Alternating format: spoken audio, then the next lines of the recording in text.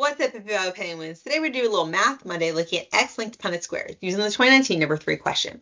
Now, we don't actually need the probability rules in order to do this question, but I did want to take a moment to refresh us on them. So if the probability of A and B are mutually exclusive, then we're going to find the probability of A or B is equal to probability of A plus probability of B.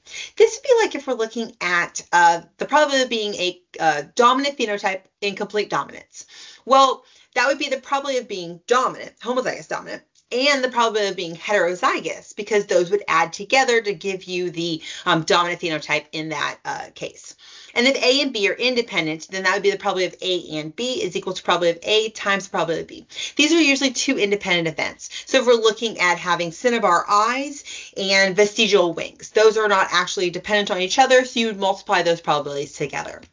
So they give us a little bit of background talking about this pyruvate dehydrogenase complex, which we really don't need to know that for this question. So then they go on to tell us that it's caused by mutation in a certain gene, which is located on the X chromosome. A male with a PDC deficiency and a female that is homozygous with no family history, uh, they have a male offspring. We want to calculate the probability that the male offspring will have this deficiency. So I went ahead and made this recessive, but there's no actual information in the question that would have told us either way. Um, but it actually doesn't matter when you finally see the answer.